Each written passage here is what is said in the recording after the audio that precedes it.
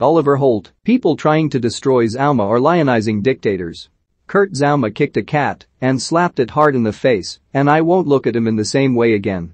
Nor will anybody else who saw the phone footage and heard the giggling and the laughing that was its soundtrack. The short film will follow him for the rest of his career. It will embarrass him wherever he goes. Kurt the Kakaker is a sobriquet that will not fade easily. Zouma will have to learn to live with a new reputation, not just for being cruel, but for being unbelievably stupid for allowing his brother to film him being cruel. And then putting the footage on social media. He has been made a pariah. We are falling over ourselves to do to him, figuratively speaking, what he did to that cat. Some want him sacked. Or suspended. Or banished. Or jailed. Zouma has been fined £250,000 by West Ham, and the club has said it will donate the money to animal welfare charities. Credit to them for that, if it happens. I got my dog from one of the charities after they had nursed her and her siblings back to health when they had been left in a bucket on a doorstep as puppies. They do wonderful work. As long as Gold, Sullivan, and Brady follow through on their promise, the charities will put their unexpected windfall to good use. Many feel strongly that Zouma should not have been selected to play against Watford last week, nor in the side that faces Leicester City. David Moyes condemned Zouma's actions, but defended picking him. We must not forget many of us in life make mistakes, and we are hoping people out there give him a little bit of forgiveness, the West Ham boss said on Friday. Moyes is right. For what it's worth, I am among those who think it was wrong to play Zouma against Watford, but I also think he has been punished enough. His reputation is gone, his life changed overnight. He is said to be deeply contrite about what he did, and hopefully he will educate himself about how to treat animals. Maybe he will volunteer at a cat sanctuary for a time. I hope so. I hope too, he will be able to redeem himself. Zouma's case had a wider significance in sport because it has shown a light on what makes us angry and what we are prepared to forgive and what we simply gloss over. We are a nation of animal lovers, and that is one of the reasons why Zouma's actions provoke such a visceral reaction, while other crimes are tolerated and even indulged.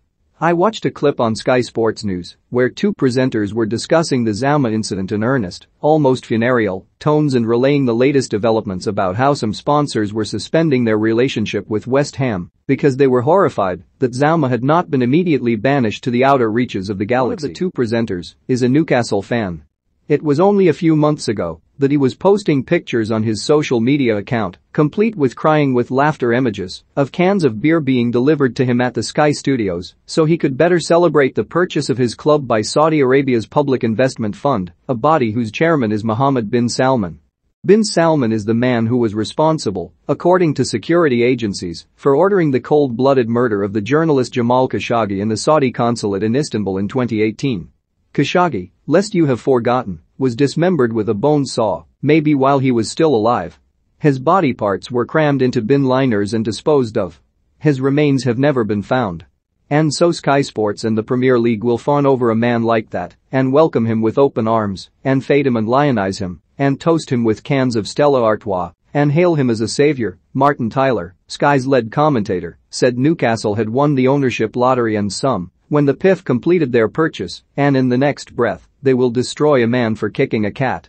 Look, I hate cruelty to animals and I hate bullies, and I hate what Zouma did. Kicking a cat and cutting a man up into little pieces with a bone saw are both bad things, but even though I am sure some will find a way to disagree, I would like to suggest respectfully that one is worse than the other. And yet Bin Salman is now a potentate of the English football establishment and Zouma is an outcast. Zouma, rightly, is paying a heavy price for what he did, but if spending £100 million in the transfer window has made English football forget about the heinous acts of the Saudi regime that owns Newcastle, maybe some way down the line, it can find a way to forgive West Ham's centre-half too. Martinelli's red was the right call I have long believed Michael Oliver to be England's most able referee, and his handling of Gabriel Martinelli's sending off and Arsenal's victory over Wolves on Thursday night only confirmed that opinion. Martinelli tried to stop Daniel Podence taking a quick throw-in and pushed him as the Wolves player released the ball, shoving him to the floor. It was an obvious yellow card, but Oliver allowed play to continue because Wolves had an advantage. Martinelli set off down the wing in pursuit of Chiquinho.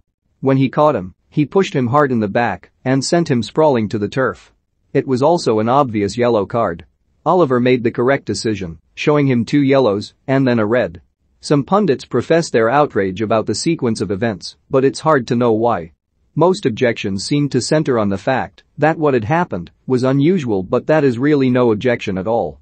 Martinelli is a brilliant young forward, an aggressive player who operates on the edge. Much of his play is mature beyond his years, but his lack of discipline shows how young he really is.